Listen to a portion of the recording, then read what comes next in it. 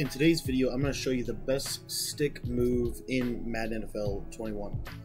What's up guys, my name is Cody and I want to welcome you to my YouTube channel. If you've never been to my channel before, my channel is designed to help you get better at Madden NFL 21. Now, today's video is going to be very simple. It's going to first show you a little bit of a trick to beat man-to-man. -man. It's going to expand on a little bit of the, some of the things that I've been talking about. But the other thing that it's going to do is it's going to give you what I believe to be the best best stick move to use with your running back, with your wide receiver, with your quarterback, whoever it is that you're running the ball. I got the controller came up, so we're going to jump into this in just a second.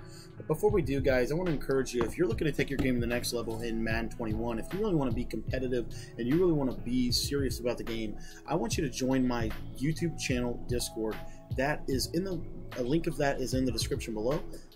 But the Discord is the best way to stay up to date with every single thing that I've got for you coming in Madden NFL 21. All right, let's get to the tip.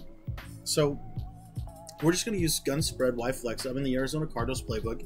You guys know by now that I probably, probably most of you know that I run the Arizona Cardinals playbook, and I, I run it very well. In fact, if you want to get that ebook for my offense and my defense, um, it is in the description of this video as well. So you can pick that up. Again, one of the guys that picked it up said it's the best $25 he's ever spent on this video game because it's taught him how to dominate people like he's never been able to before. So anyway, shotgun spread flex. The play is Y stick, and the specific route is the running back route. But we're not going to focus so much on the route as we're going to focus on the move. Now it's kind of like the double juke.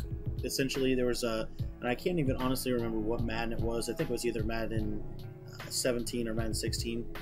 But the double juke, basically what you're going to do is you're going to juke to the to one side, and then you're going on your with your right stick, and then you're going to basically turbo and explode to the opposite side with your left stick. So if you watch a controller cam here, I'm going to get this pass in, and then I'm going to go right left, right left.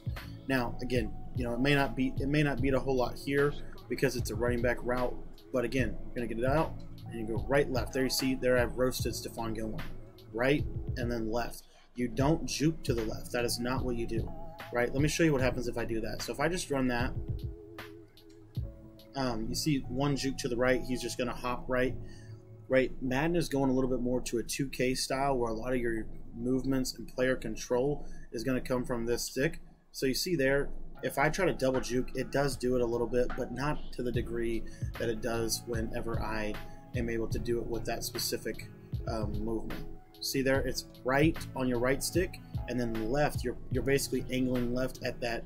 That's the cut back. So you're going to cut to the right with your right stick, and then instantly cut back to the left with your left stick. And I'm telling you, I get a lot of really, really good uh, plays on this. Let me back the ball up a little bit. Let me give myself a little bit more room on that side and show you what I can really do when you isolate somebody on that side of the field again, this is a simple route. This is a very good route against man-to-man coverage um, that I'm showing you right now. But right there, and you see how Stephon Gilmore takes that false step and you're able to go. Now, this is good for not just the pass, right? If I wanted to uh, just go to a simple inside zone here or RPO, which you'll see here, same thing. I can do it in the backfield. What I like about Madden this year is you can do that at any different, you can do it at multiple points, right? So if I just run the inside zone, see how I can cut all the way back? and then I can get it in the open field. It's literally my favorite move to do in the game. So uh, I hope this video helps you guys. It's a very, very simple tip. It does take a little bit of time to master the stick work on it, but right and then left. Basically, right hand or my right thumb is on the right stick, left thumb is on the left stick, and so that's kind of how I, you know, know. You know, basically that's how you want to do it. Now, if you want to go the other way, right there, you go you go the opposite direction. I personally think it's easier to go right to left than it is to go left to right, but you know you can do that too right there, and you see I'm able to get through, and then I juke out another guy. So again, my opinion, this is one of the best open field moves in the entire game, and this really will help you because again, being able to have good stick work is critical to becoming a good Madden player. So hope you guys enjoyed this video. There's going to be some other videos that are going to pop up on the screen. They're going to help you beat man coverage and help you improve in Madden 21. But last but not least, guys, I do want to remind you, I stream every single night at 10 o'clock Eastern time.